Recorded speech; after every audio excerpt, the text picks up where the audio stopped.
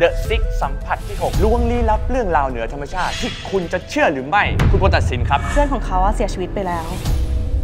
พี่ส้มจ้ะมีใครตามพี่เคมาไหมหันมาอีกทีเจอผู้หญิงคนหนึ่ง ที่ระเบียงผู้หญิงคนนั้นเขาพูดมาคำหนึ่งแล้วเจอกันฮะแล้วเจอกัน โทษนะพี่เขาจับคอหนูอย่างเงี้ย แต่ตัวเขานิ่งๆ แต่คอเขาหันมาแต่คออย่างเงี้ย ในโลกของวิญญาณต่อให้เขาจะอยู่ในพื้นที่เดียวกัน แต่เขาอยู่คนละมิติ เป็นแฟนเก่าของเพื่อนเขาคนหนึ่งที่ชื่อก้าวเขาโดดลงมาจากชั้นสี่เขาโดดเหมือนพุ่งหลาเอาหัวลง คือยังไงก็ต้องเอาตาย